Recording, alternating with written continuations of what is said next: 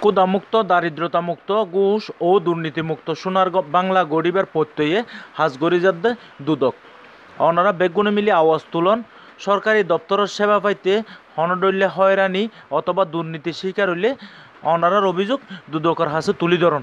এই স্লোগানত চব্বিশে জুলাই সোমবার চট্টগ্রামের লোহাগাড়া উপজেলাত সকাল নয়টা হইতে বিকাল পাঁচটা পর্যন্ত সরকারি সেবা সংস্থাসকলের বিরুদ্ধে সাধারণ মানুষের অভিযোগের বিষয়ে দুর্নীতি দমন কমিশন দুদকর একষট্টিতম গণশুনানি অনুষ্ঠিত হইয়ে।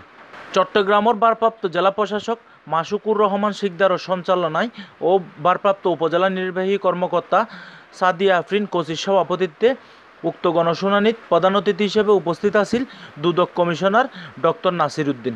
বিশেষ অতিথি হিসেবে উপস্থিত আছিল ব্র্যাক বিশ্ববিদ্যালয়ের নির্বাহী পরিচালক ডক্টর সুলতান হাফিজুর রহমান, দুদকর চট্টগ্রাম কার্যালয়ের সহকারী পরিচালক হুমায়ুন কবির, সাতকানিয়া সার্কেলর এডিশনাল এসপি হাসানুজ্জামান মোল্লা, উপজেলা মুক্তিযোদ্ধা কমান্ডর কমান্ডার আক্তার আহমেদ শিকদার সহ আর অনেকে।